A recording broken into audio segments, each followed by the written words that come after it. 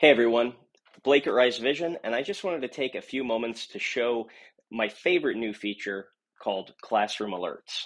So behind me, I have an interactive flat panel display running Android. These are pretty common to see in classrooms nowadays. Uh, right now, it's running Rise Player, and it's showing our awesome random acts of kindness template. Now, most of the time, um, interactive flat panel displays in classrooms aren't going to be used for digital signage. Instead, they're going to be used as a learning tool. So things like um, a whiteboard, which I'm launching right now, or another learning application, or even a YouTube video. Or, or maybe the teacher has their laptop plugged into an HDMI port and it's on a different input completely. If that's the case, how do you get your important safety and other announcements to the display while it's not running Rise Player? We have a solution for that and it's that classroom alerts feature that I'm talk that I talked about. So the first way to do this is through schedule overrides. So you'll see here, I've created this weather alert um, schedule and set it up as a replace schedule. So I'm going to click show on all displays and then I'm going to click save.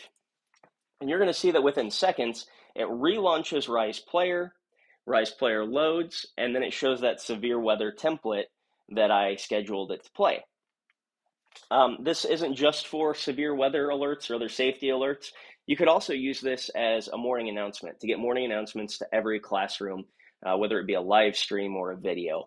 Um, you could interrupt all uh, classroom displays to show those morning announcements or, or other announcements that the school may have. Now, another great thing about this is once I remove the interrupt schedule, within a few seconds, it's going to close Rise Player and remove that um, warning announcement and go back to the content that I had showing on the screen before. So the teacher is not going to lose that important work that they had going on.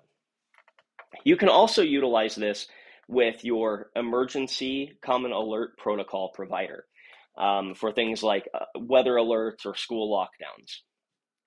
So I'm going to be using my pre-set up um, lockdown drill from my CAP alert provider. And again, you see immediately um, the CAP alert template comes up. The emergency has been classified as a drill. Um, it shows exactly what I put in there in my, my CAP alert provider's UI. And, um, and again, it's going to continue showing this until I resolve the emergency.